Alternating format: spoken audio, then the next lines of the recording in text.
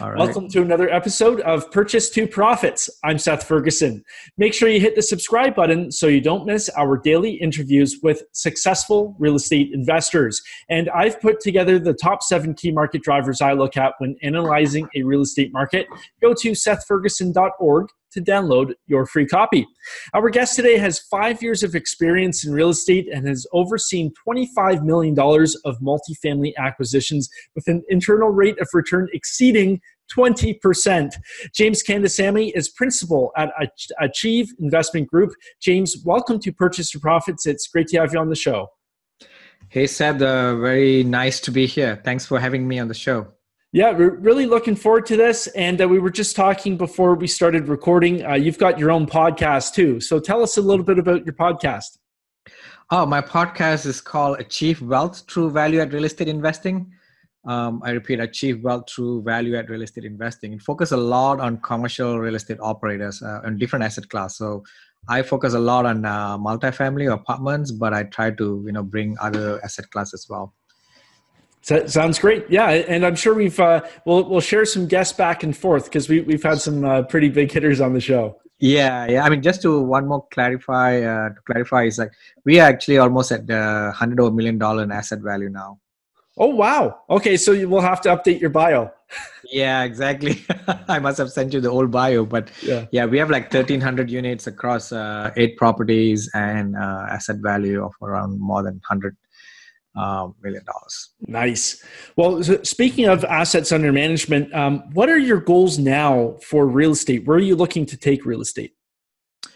So my goal is, I mean, uh, for me, is all about solving problems, right? Uh, I love solving problems. If I can find an, another real estate problem to solve, I would do it, right? Um, but the goals are basically to close 600 units by end of this year. Um, we're on track for that. Um, and uh, you know just making sure we're buying the deals that make sense. Sometimes when you put goal and sometimes you're forced to buy some deals and i do not want to do that because you know markets at peak right now and sometimes when you put aggressive goal you tend to make mistakes of buying you know marginal deals or just because you put a goal right? So so i do not want to you know uh, buy a deal just because of buying deals but i just want to make sure we buy deals which has a true upside today right? Um, because as i said it's very hot out there in terms of marketplace and we want to make sure that we buy deals that we're able to uh, fulfill our business plan for our passive investors. Yeah.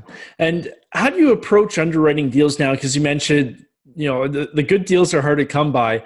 Um, and sometimes it's easy to you know change the numbers on the spreadsheet if you really want to make it work. So how do you stay focused on your criteria and and not deviate Oh, it's very easy to change things on spreadsheet, right? Yeah. So a spreadsheet's a spreadsheet, right? So I think the way we look at deals, which has been since day one, is basically to look for building upside. Building upside means today's upside. What is it, right? So if I, without changing the, anything in the world right now, without appreciation, without economy doing well, uh, if the if is does the property has that potential that not being realized yet which needs me to go and either put my own money not my own money my the capital into the property so that i can improve the um, the condition of the property and increase rent.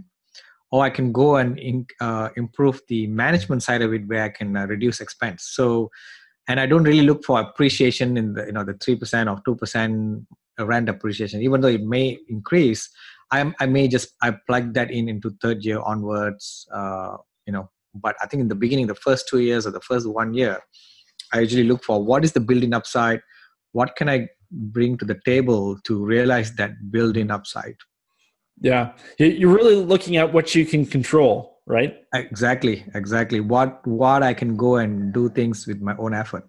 Yeah 100% and what would you say is your number one challenge now with your business? Um of course i think the number one challenge is finding the right deal right? Um, finding deals has always been the challenge right now. So because, um, as I said, everybody is looking at apartments, and we specialize in it, and um, you know everything is getting overpriced, and everything's going through bidding process, which means you know you are going to be paying the highest price unless you have something special that no one else have. Yeah, um, yeah. Finding deals is always hard right now. Yeah. So looking back uh, five years ago when you first started, how has your marketing efforts changed in order to uh, increase your deal flow? Because the market was different five years ago until now. So what changes have you made?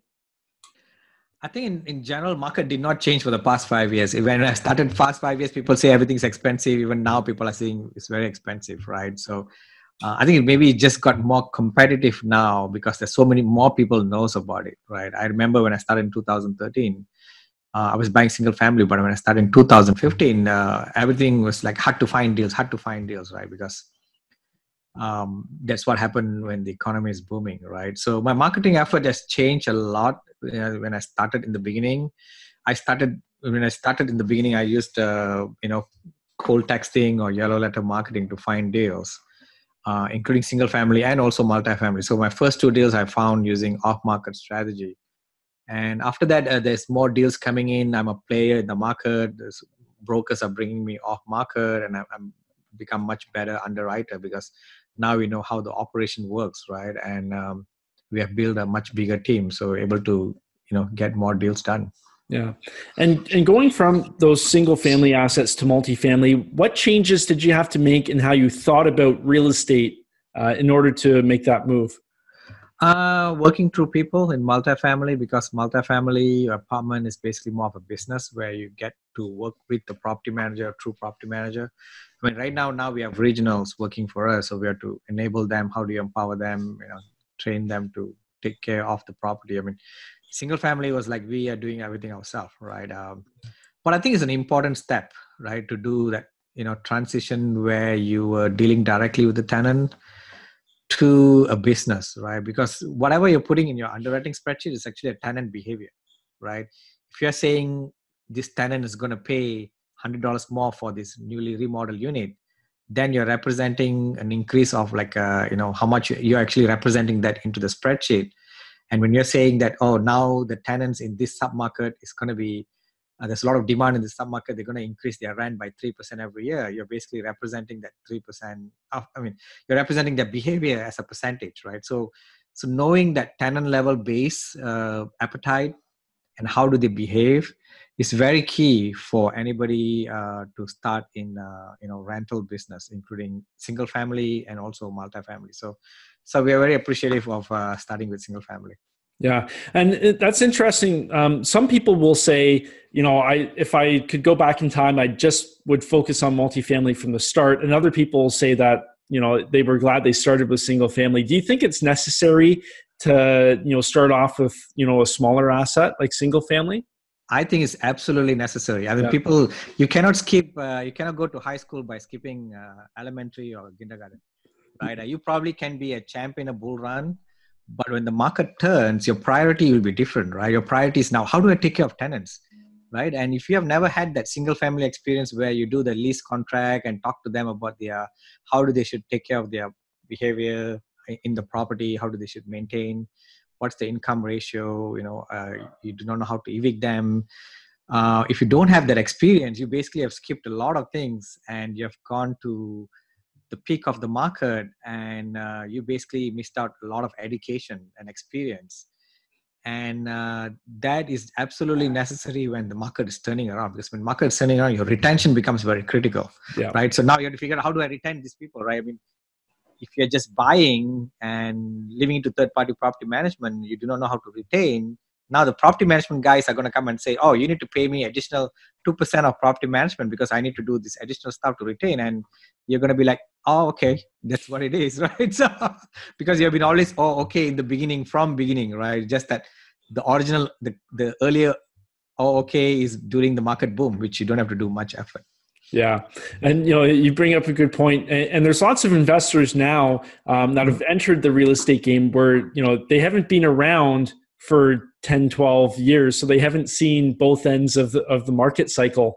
Um, what sort of advice would you give somebody who's maybe just entered real estate investing in the past five years and they haven't experienced the downside well that's including me right so yeah. i've never gone through the oh that, yeah yeah sometimes a bit scary you know because you don't know what you do not know right so uh, I do not know whether I'm the right guy to advise or not. But oh. I, yeah, I, I, I, guess I set you up. Uh, yeah. So, so, but, but that's okay. That's absolutely a valid uh, question uh, because, as I said, everybody's a champ in a bull market, right? So, um, but I would say that if you realize that your property has increased in value because of your your own effort, you have done something right, right? A lot of people have increased value just because of market have boomed. Right now, they go and tell everybody, "I made 200 percent, I made 300 percent," but it's not because of your own effort, right? So if you have identified your own effort, that means you have done good, and that is very key when the downturn happens because now you need to know and go back and redo that again.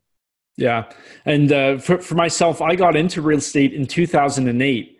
Um, so it's uh, it's interesting to see, you know, like you were saying, uh, you know, in the boom period, you don't really have to push as hard to attract the tenants.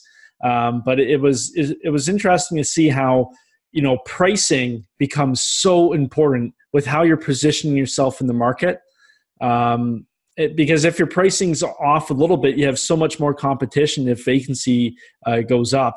Uh, you know you can just have units sitting sitting like sitting like sitting ducks for a long time. Yeah yeah. Pricing and also like how competent is your property management company right? Especially in the apartment business that we are in right? So yeah. because the competency of property management is not well tested in this current boom market. Yeah, no, one hundred percent. Um, so let uh, tell us a little bit about how you got up and running because right now you're at uh, around hundred thousand dollars assets under management. Um, walk us through the past five years. Like, how did you get the ball rolling to kick things off? So we started with single family. I mean, we have started just with fifty thousand in the beginning, right? So I bought like maybe I think uh, on average, I think the houses I was buying like six to eight thousand cash down payment, which is really low, right? Uh, But we use uh, this BRRRR method where you buy and refi, and so we're able to go in with a very low amount of money. Then we refinance that money, and we bought another ten more, not not another five to six more houses. So from that, all that 11 houses, which is rental and two flips, so total 13, we build up like almost 400,000 of equity. Nice. And from 400,000 equity, we moved to, we refinance that money out and moved to uh, some to single family. And now we are selling all our single family. So we moved to multi-family, 45 units. Um, and then the next year we bought 174 units. And the year after we bought 115. And past two years we bought another, what, almost 1,000 units. Nice. So are, are you are you con like what's your what's your bread and butter? Are you focusing on 100 units plus or 50 units? Like what, what's your niche? Uh, we like to look at more than 100 units, but we like more than 200 units as our bread and butter. Gotcha. Class yeah. B and C with value add component yeah. to it. Yeah, and and lots of the listeners on the show they're they're either beginners or intermediates in real estate investing. So can you just walk us through um, you know, because moving from single family to multifamily, the network is different. Uh, the people who you need to know is different. So how how did you go about um, exposing yourself to the people operating in the multifamily space? I think there's a lot of uh, channels to network, right? I mean, I wrote a book on, on passive investing in commercial real estate. It's in Amazon right now. So I did outline like, in general, there's four ways to network for passive investors and active investors. First is BiggerPockets, right? It's, it's free go and ask thousands of questions there are a lot of people who will answer your question. And second is meetups right? Just google go to meetup.com and look at whatever asset class you want to do. So if you like apartments go and google it. Just go and visit right? Uh, third would be you know like uh, real estate clubs right? Your local real estate club. Fourth will be your paid real estate club as well. So there's four ways to go around it. Uh, I started with with bigger pocket absolutely, and I, I did I didn't do so much of uh, meetup, but I did the investment clubs as well. So where we can go and meet up with the like-minded people.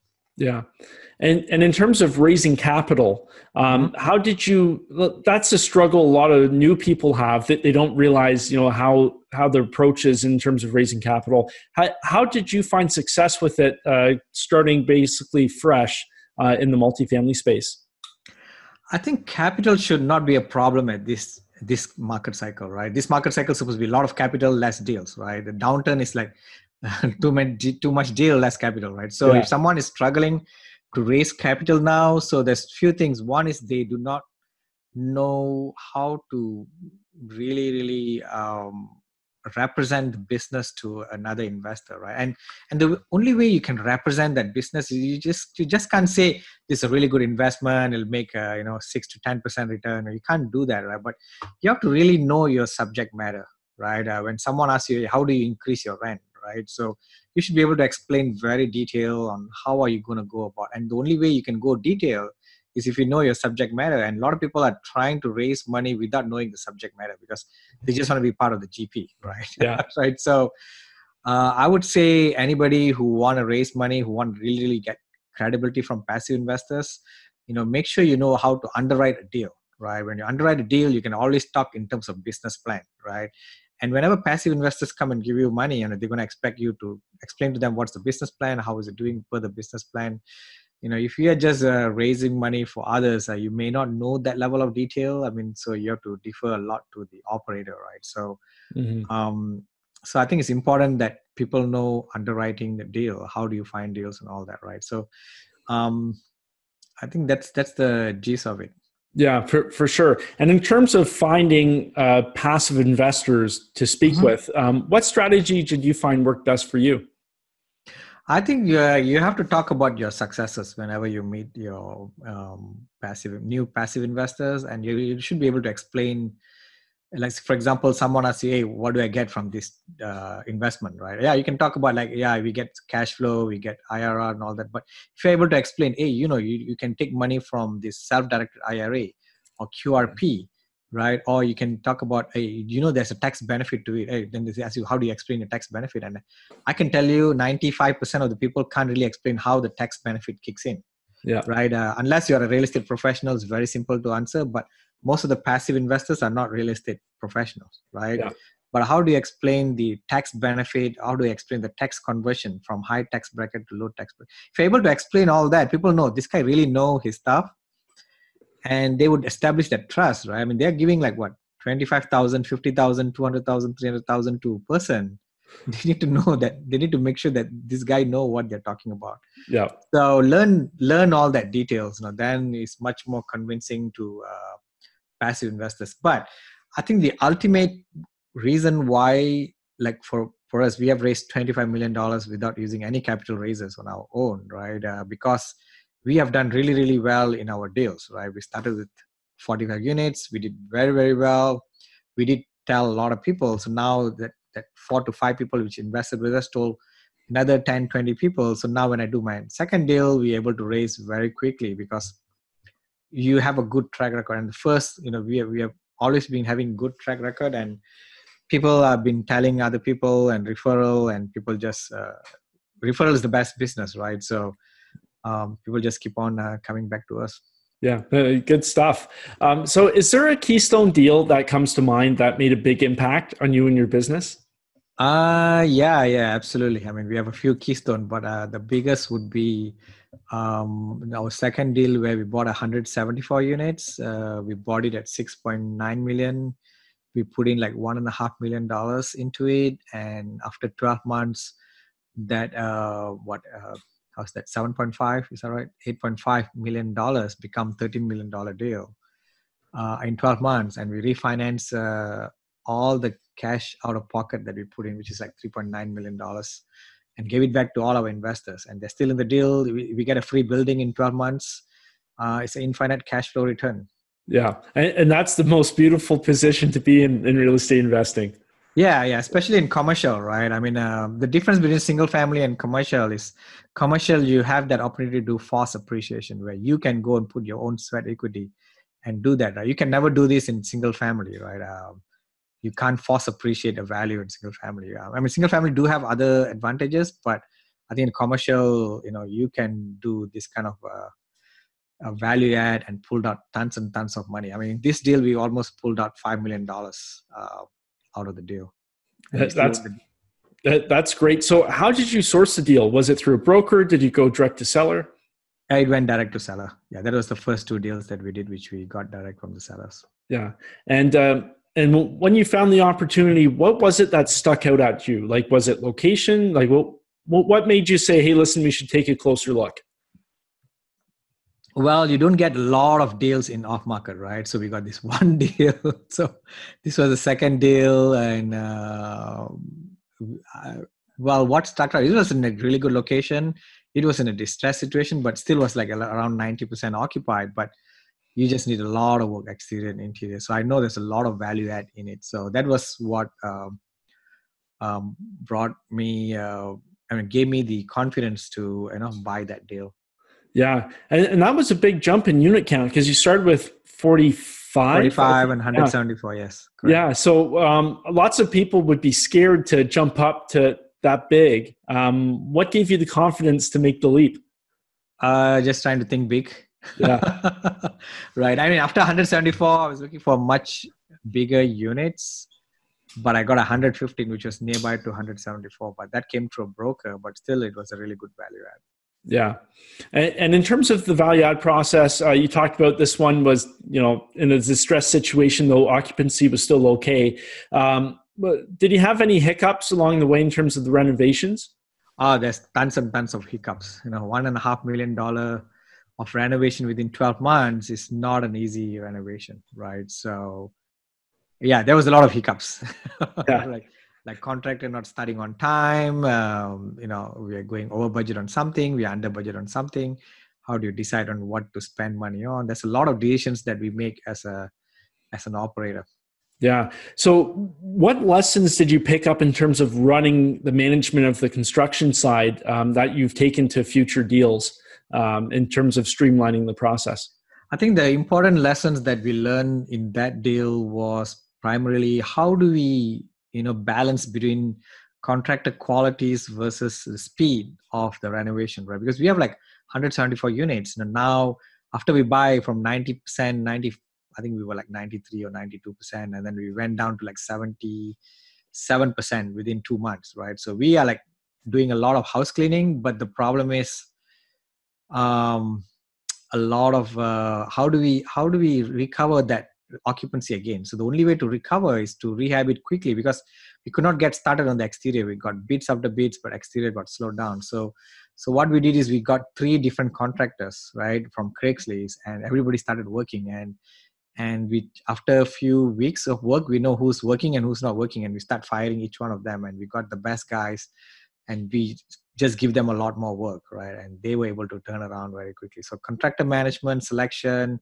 how do you you know fire them if they're not working you know uh, that's key uh, skills that we learned yeah for, for sure and uh, you've done the refi you've pulled out a big chunk of equity um, mm-hmm. are, what, what's your plan going forward with this property are you looking at holding it for another five years or we are still holding it uh, you know but we do not know i mean we review our plans every year after year um, the ice has still got quite quite a number of equity stuck in that deal, right? At least another you know four to five million dollars stuck, right? So we are i mean the property is stabilized is cash flowing nicely to our investors it's, it's like it's infinite return right now so so uh, we will decide uh, as the year goes by and we'll talk to our investors on what to do but it's still a really good investment now Oh yeah, and you never know. Somebody might come along with a really big check for you.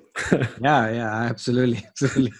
yeah, we have to evaluate at that time, I guess. Yeah, yeah, for, for sure. So, uh, tell us about the impact um, moving into commercial real estate has had on you and your family. Oh, huge, huge. I think, uh, of course, we got a lot more busier, but I was able to uh, resign from my W two job almost like what, almost one and a half year to two years ago. So now I'm a lot more at home uh, i sleep a lot more too which is not that great but but we just have so much of flexibility in terms of uh, family time i live in austin so traffic's bad so but i can always go out from 11 to 2 to anywhere in austin and come back so that i don't hit the traffic so it gives you a lot more time a lot more wealth as well but I mean, time is more critical, and you're running it as a business. So you have people working under you, and we are just, you know, working from home most of the time. Yeah. And at what point did you decide in your business that you needed to start hiring other people to do other tasks? Uh, we always have a property management company on our own. Um, so we had property managers there, but after around 1,000 units, we said we need a regional. So we have a regional right now. And we also have a construction manager because there's so much of uh, you know construction going on in different part of the town and and property and you know different lenders draws all kind of things. So we have these two people helping us right now. Yeah. Do, do you wish you hired those people sooner? Um it's um well i think a thousand units is more of uh, the right place where you start to hire that kind of people to help you out. Yeah. Yeah. Yeah, I, absolutely. No, the only reason I'm asking is I, I find a lot of people beginning in real estate, um, they, they put off hiring because they want to do everything on their own. And then it almost gets to a point where it's too late and then they bring people in at the last minute. Yeah, it's true. I mean, I think I would say like, uh, you know, like admin assistant would be really, really useful. I mean, on top of these two people that working directly on a payroll right now, I have a I have a quite number of VAs working for me to do small tasks, and I just assume that it, it could have been better to get them on board earlier. I just got them on board after like 700 units. So because admin assistant can really really help your time out. Yeah, and, it takes off so much stress. Yeah, there's yeah. so much of uh, trivial stuff that we do that we really don't have to do, but um, but getting an assistant and all that you need to train them and you know as long as you're getting a va which you don't pay on a payroll then you're good yeah no, for, for sure. Good advice. Um, so let's look ahead 10 years from now. Um, mm-hmm. Where do you see yourself in your portfolio in a decade?